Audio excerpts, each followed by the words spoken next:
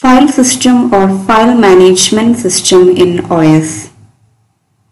What is a file? File is a named collection of related information which is recorded on a secondary storage so that the contents are persistent through power failures and system reboots.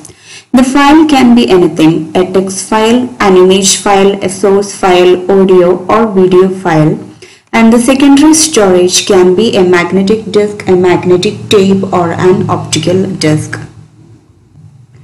In the computer system, file is the basic logical storage unit from the user perspective. According to user, everything is kept on a file and the file is kept on the secondary devices. But in the secondary device such as hard disk, these files are actually mapped to and stored in blocks.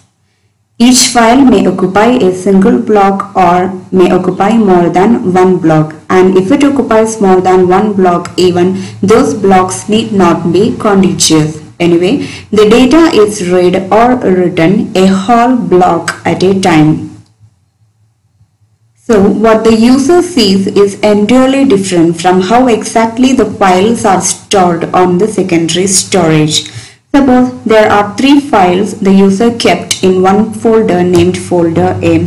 It doesn't mean that these three files are stored on the secondary device one after another. File 1 may occupy some location, file 2 may begin at some other location and file 3 may begin at some other location